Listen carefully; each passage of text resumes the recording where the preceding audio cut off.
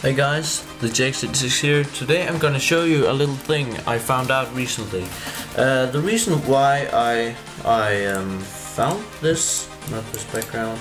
Um, uh, yeah, by the way, backgrounds link in the description as a zip file. I have them all here.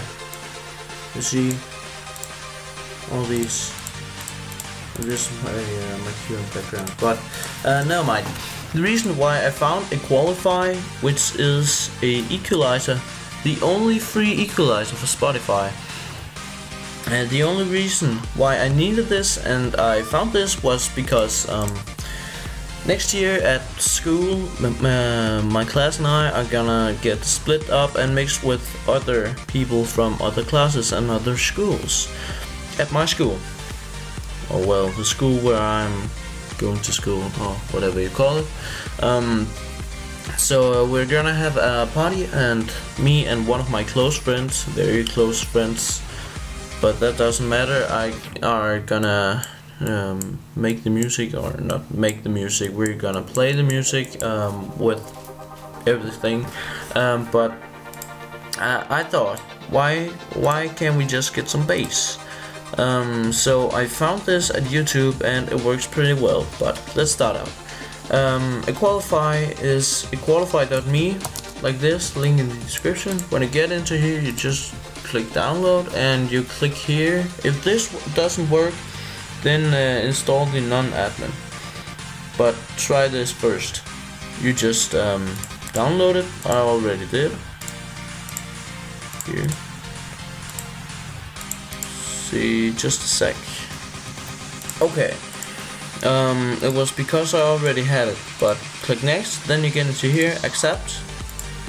Then you see here, uh, this should be your username, like this, and then next, install, yes, copying new, finish. Now open Spotify, not start, but Spotify, then you get into here, nothing's changed, except from when you start a song, this pops up. Oh, pops up. Um, this is Equalify, how it looks.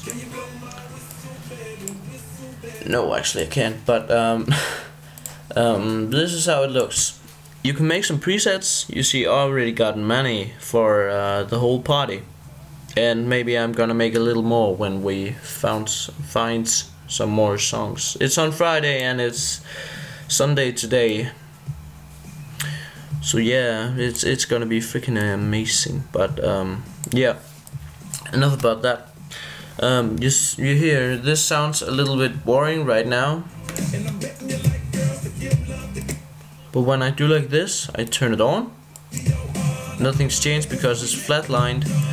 Then I found find my preset it sounds a lot better, but I'm gonna boost the bass and preamp like this.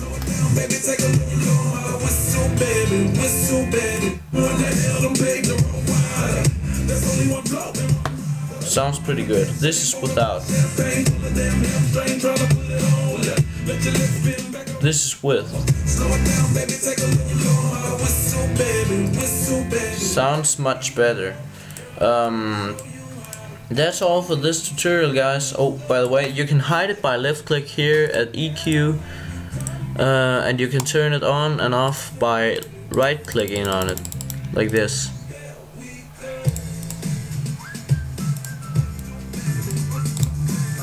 You see? But yeah, thanks for watching guys. Peace.